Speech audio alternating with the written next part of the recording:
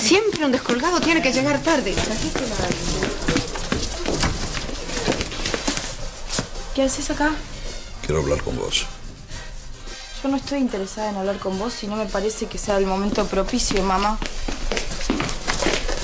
Te lo voy a decir una sola vez. Y te lo voy a decir de buen modo. Andate, por favor. Quiero disculparme. Dame una oportunidad. Vos ya tuviste tu oportunidad. Quiero disculparme. No sentí ni pensé lo que decía. No necesitamos que te disculpes.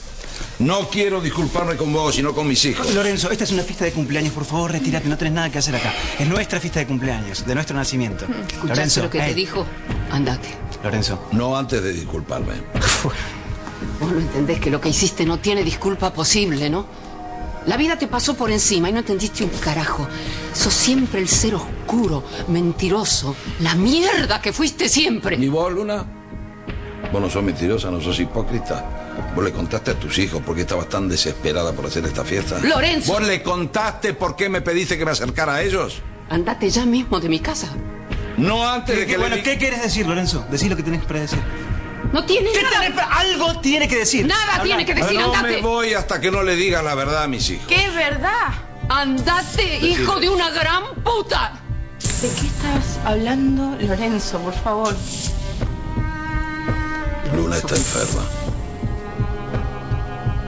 Y cree que ocultándolo los cuida. Y no es así.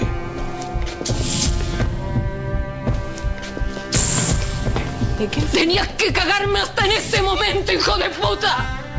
¿De qué enfermedad está hablando Lorenzo? ¿De qué enfermedad está hablando Lorenzo? ¿Cómo que estás enfermo?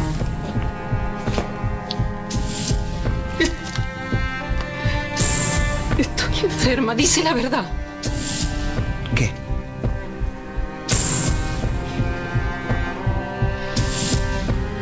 Tengo cáncer, chicos.